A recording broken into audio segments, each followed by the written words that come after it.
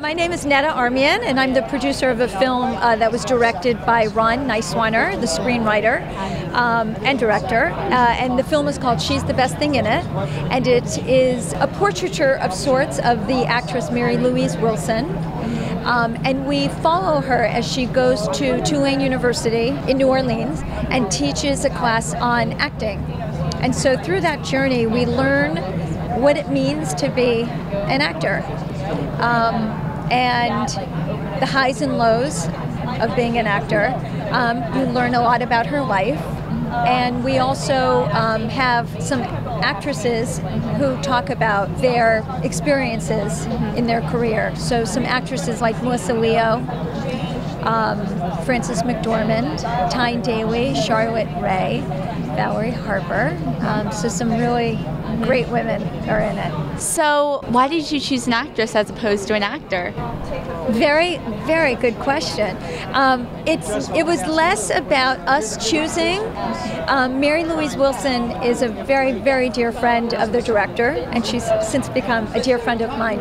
Um, and she over the course of their time as being friends and uh, him learning about her life, she just, it was the subject matter and her life was really, uh, it, it required a, a film about her. So it was less, hey, let's do this and who should we cast in it? It's kind of like this extraordinary woman was really everything about it said she's a movie, and so let's do this. But let's face it, right? It was great that she's a woman. Definitely, we are all about feminism and women in film. And how do you, the movie at all discuss how 60% of all female roles are non-speaking? No, but I, I, let me tell you, it doesn't address that literally, that statistic, but it's addressed in, um, it's addressed when first of all, based on seeing Mary Louise's life um, and her journey, but also the actresses that speak. You know, Frances McDormand makes a reference to how she, for 30 years she's been playing a supporting role.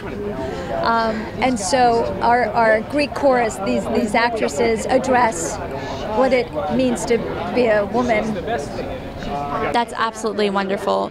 Would you like to talk a little bit about you yourself being a woman in the film industry and how that affects you? Um, I try to not be gender specific. Um, I don't know why, and yet the stories that I tell are often um, about strong, complicated, um, rich in personality um, female characters. So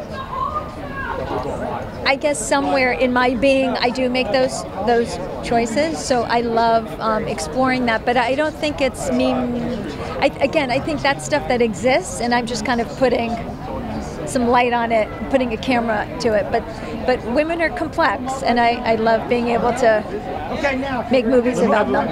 Okay, thank you so much.